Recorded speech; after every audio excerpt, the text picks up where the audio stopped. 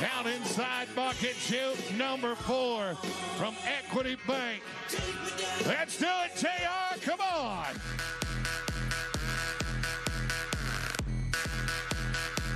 Yeah. Come on. What a bull ride. Come on, Gavin. Make a little noise out there. He's fired up like a lady in a shoe store. He ought to be. Watch that replay. Big time bull ride for the Kansas fan. The question is, will it be enough to go to number one? It is 89 and a half for Stratford. Can I get up? Can I get up? What a bull ride.